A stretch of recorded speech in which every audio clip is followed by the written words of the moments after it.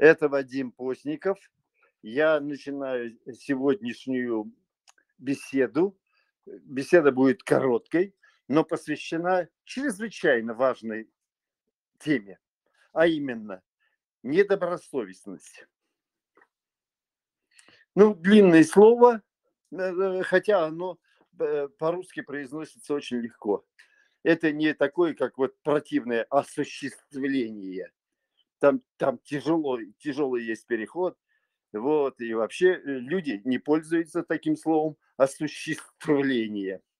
Вот. А недобросовестность, ну, стараются тоже не пользоваться по другой причине. Потому что добросовестных людей, ну, так, и добросовестного поведения – это все-таки редкость, экзотика, особенно если мы имеем дело с государством. Мало того, причем с любым. Здесь я не, не, не, не погрешу против истины. Вот. Э, итак, недобросовестность. Формулу я нарисовал, потратил э, какое-то время и, и сделал черное солнце. Это не черное солнце пустыни, Э, в прекрасном фильме, а это просто черная, черная, черная, черная тема, недобросовестность.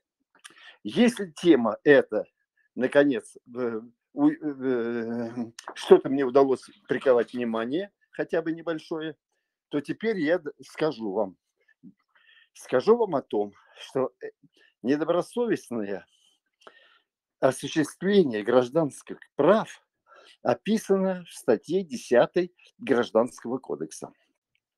Написано плохо, написано очень плохо. Ну, в смысле, э, э, стилистическая конструкция совершенно неудачна.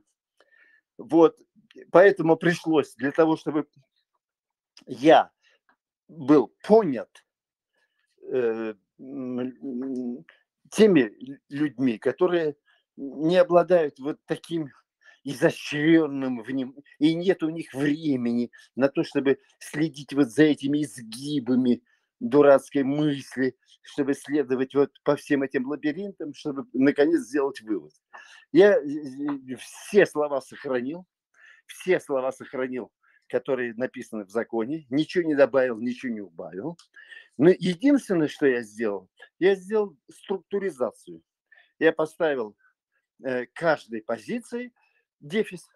И у меня получилась, ну, теперь понятная формула.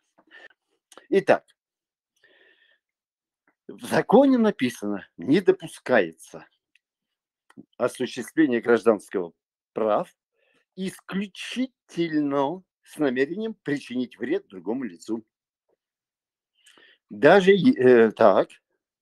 Дальше не допускается действия в обход закона с противоправной целью. Далее. Не допускается иное заведомо недобросовестное осуществление гражданских прав, в скобках злоупотребление правом. Не допускается осуществление гражданских прав в целях ограничения конкуренции. У вас сразу Зюзина. Угу не допускается осуществление гражданских прав, а также в качестве злоупотребления доминирующим положением на рынке. На рынке. На рынок это не колхозный рынок, а рынок, например, услуг ЖКХ. Там, там злоупотребление доминирующим положением. Ну, я, например, э, поставщик электроэнергии, и э, отрезаю топором, обрубаю провода, ну это же злоупотребление доминирующим положением. Других я не имею возможности друг, другим обратиться. Вот, только вот эти топорники, да. Ну и как положено, если это доминирует положением, у них избыток денег для того, чтобы отключить э, электроэнергию, достаточно э, появления одного человека. А они приходят, как правило, толпой. У них очень много денег. Они вот даже появлением избыточного количества людей, они пока они злоупотребляют, они пугают, они дока- показывают, что э, с ними бороться бессмысленно. У них очень много лишних денег.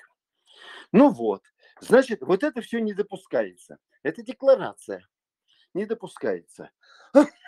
А что же делать дальше?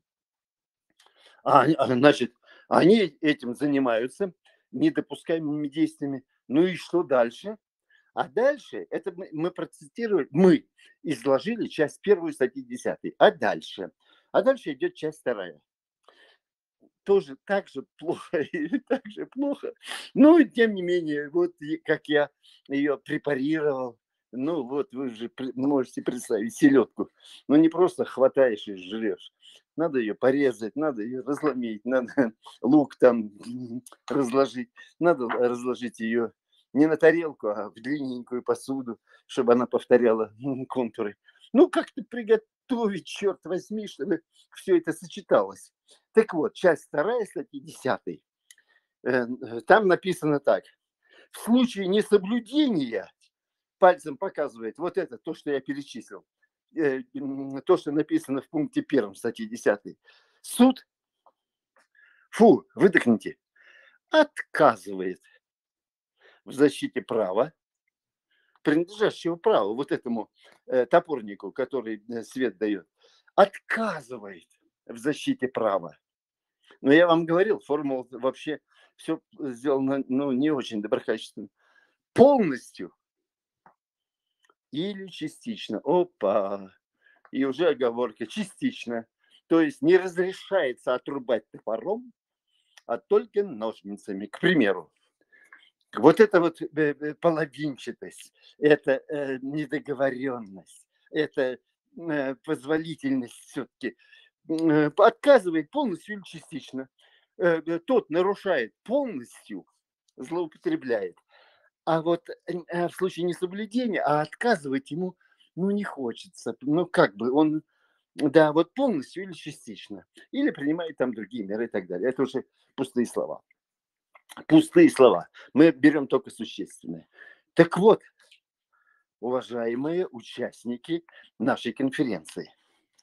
Так вот, его, если мы возьмем и э, выпишем на карточку эти слова, и мы можем приклеивать практически каждому иску практически каждому иску, касается он частных домов или многоквартирных, касается он РСО или эм, э, жилищных и коммун... жилищных услуг, касается ли он еще каких-либо каких-либо услуг, там, коммунальных услуг, оказываемых э, э, организа... управляющей организацией через, через эту организацию, а не на прямых договорах. Во всех случаях мы видим, что гражданские права осуществляются или исключительно с намерением причинить вред, как это делают топорники, отрубающие электричество, или в обход закона. По закону вот как полагается. Процедура-то вот какая. В рамках там договора. Процедура, процедура такая, действие в рамках э, жилищного законодательства, то, то есть, значит, договора. По, э, по, э, по закону полагается э, указать нарушенные права, а вы их не указали. То есть вы идете в обход закона. Ну, вам же вот, вот написано, как мы раньше говорили, да, прямо пойдешь, значит, голову потеряешь, налево пойдешь, потеряешь туловище, наоборот, голова сохранится. Ну, какие-то там слова, альтернатива. Вот. Куда бы ты ни пошел, что-нибудь потеряешь. Ну, в общем, да. Или ноги из тебя выдернут с руками. Ну, кругом потери. Но ты выбираешь и идешь в обход. А, в общем, туда идти нельзя, туда. Надо идти в обход, да, тебе подсказывают. А здесь всегда идет в обход. То есть во всех случаях, как только появляется судебный приказ, как только отменяется судебный приказ, и э, э, разумные, ну, считающиеся разумными такими обстоятельными и положительными люди пишут, теперь ждите. И ждать нечего. Ну, совершенно понятно, что пойдут действия в обход закона. В обход закона пойдут. Или иное. А вот сейчас еще раз ваше внимание, иное заведомо недобросовестное осуществление гражданских прав. То есть законодатель признал, что если вы действуете в обход закона, это уже заведомо недобросовестное осуществление граждан. Это уже злоупотребление правом. То есть два предыдущих дефиса указывают на то, что э, это не заведомо недобросовестное. Всегда не, заведомо. То есть вы знали, что это недобросовестное. Если вы наугад вот стреляете, выхватил и выстрелили на звук, то это вы же не знаете, кто там, враг, друг, не знаю, кто там появился. Вот. А это точно знаете. Вы точно знаете, что этот вот, вот этот конкретный человек, который вам ничего не причинил, который идет по каким-то э, делам э, нужным, вы его убили. Вот, то есть вы ведали, вы ведали, корень ведомо, вам ведомо, что нельзя это делать, но вы все-таки осуществили эти права, злоупотребили своим правом. А уж что касается ограничения конкуренции, то тут, как говорится, слов нет. Ура, привет. Как это? Минутку. Вы получили иск от Зюзина в районном суде Зюзинском на территории Зюзинского, э, в Зюзинской управе и вообще, минутку, так это же, вы, вы же ограничили конкуренцию. Ваше управляющее, ваше управа назначило кого-то. Вы ограничили появление в Зюзина Бирюлева, например. А, а, а мне предпочтительно Бирюлева. Возглавляет эту управляющую организацию очень симпатичная, значит, дама. Вот. И как раз по росту она так привлекательна. Италия, да, не говоря уже о прическе и сумочке за 500 евро. Вот, да, мне предпочтительно Бирюлева. И я провел, как активный гражданин, да, и э, высоко ценящий женскую красоту, особенно сумочек, я провел агитацию, и люди готовы вот Бирюлева. Ну вы же, вы же, эй, минутку, вы же ограничили возможность. У вас же нет. Вы ограничили. Мы бирюлевцы. Вот, вы нас ограничили. Конец света. Идите, идите лесом. Все.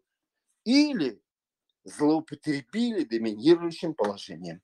Конечно, злоупотребили. Кроме вас никого здесь нет. Вот. Вы что хотите, творите. Вы вот то-то, то-то. Вы одним словом, здесь. Вот э, прямо как в пушкинской сказке. На, на, туда, значит, налево сказки что-то, направо еще чего-то, песни. У вас такое богатство под ногами, вот десятая статья, что вы что угодно вытаскиваете туда песню, туда сказку. И вытаскиваете, и размахиваете, и по мусалам, и по мордам этим Э, лупите, и, не, у, и у противников вообще нет ничего. И говорите, суд-то должен отказать. Да, у него есть право, вы не платите. Плачу, не плачу, это третий вопрос. Но он-то злоупотребляет.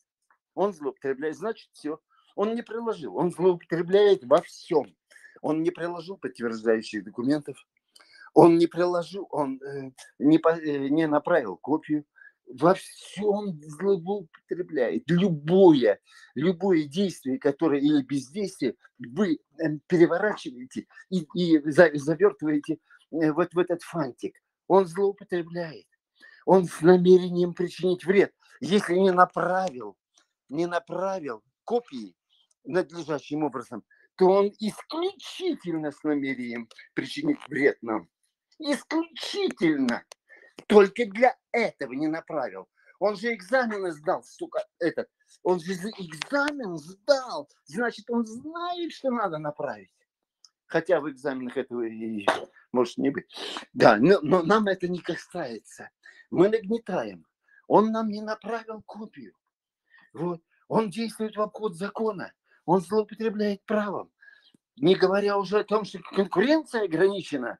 И злоупотребляет доминирующим положением, что хочет, то творит. Вот. Вы, суд-то должен отказать. и вы разводите руками, делаете вид, ну вот как, как э, рыбак показывает размер рыбы, вы делаете, машете руками, ну вы же должны отказать, машем, машем руками, показывая. Вот. Я, я что-то не понимаю, а почему не отказали-то? Вот. Ну, он же в обход, у него есть право Конечно, да, да, да, да, да. Абсолютно правильно. Но он злоупотребил правом. А у вас есть обязанность, а это не ваше дело. Мои обязанности, у меня четыре обязанности, которые указаны в Конституции. Все остальные в договорах. Все обязанности в договорах. И в этом отношении статья 153 жилищного кодекса, на который вы пытаетесь мне навязать, что я обязан платить, вот, да, э, обязан, конечно. В каком порядке? В порядке, установленном законом. Вот когда порядок этот будет соблюден, конечно, я заплачу. Я заплачу в три раза больше за 10 лет вперед. Мало того, чистым золотом. Прямо слитками принесу, возьму тачку, вот, и выкопаю из огорода весь золотой запас. Вот, да, как только вы соблюдете порядок, но вы не, между нами, они никогда не смогут соблюсти порядок, потому что он заложен в закон так, что его соблюсти невозможно. Поэтому, да, так вот закон такой, ну так вот, такие законодатели, ну тут уже ну, ничего не поделаешь. Вот, и законодатели думали, что все остальные глупее их. Только один догадался, Силуанов, что бизнесмены умнее законодателя и всегда найдут способ, как не заплатить налог. Ну, Силанов догадался. Он член ночной лиги. Он участвует, он великий человек. Он очень умный, раз играет в хоккей ночью. Ну, а когда его играть? Да, в ночной лиге, значит, он умный. Ну, для, так сказать, для, на уровне правительства он подходит. Да, ну, в рот. Значит, весь текст формула 24 я изложил. Вот, пожалуйста, найдите возможность вчитаться. Я знаю, что противно. И, и, и, и жилищный кодекс противен, и гражданский кодекс противен, и ГПК вам противно. Ну, найдите возможность, прочитайте эту формулу и статью 10. А так для себя запомните. Десятка. Очень легко. Все.